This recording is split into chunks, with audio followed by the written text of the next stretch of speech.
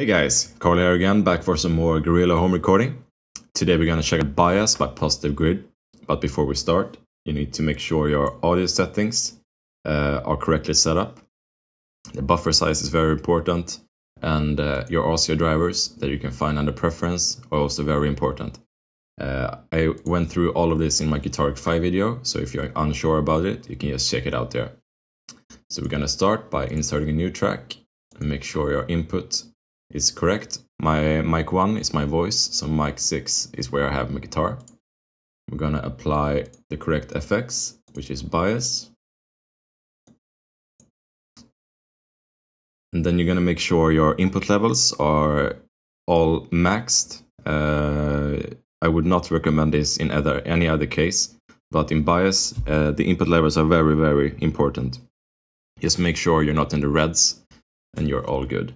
So on my external drive, I have uh, the level maxed out. You also want to max it out here. And you're gonna uh, click arm for record, of course. And then you're gonna apply the monitor. So we're gonna take a nice little preset here. We're gonna check it out.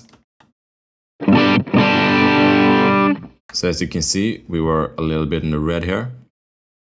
Uh, you can just adjust it according to uh, to your signal basically.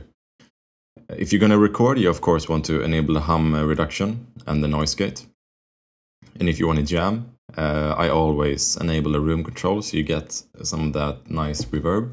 I'm gonna check it out again with everything on.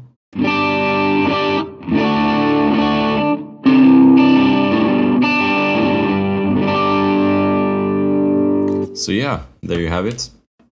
If you want some easy access, you can always uh, save it as a template, so you don't have to do all of this every time you uh, open Reaper.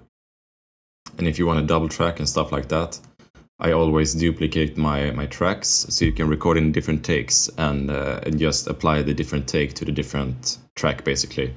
So you don't uh, so you don't get that center track, you get that nice uh, panned sound. So yeah, if this helped you out and if you uh, enjoyed the video, make sure to subscribe and like, it helps a lot.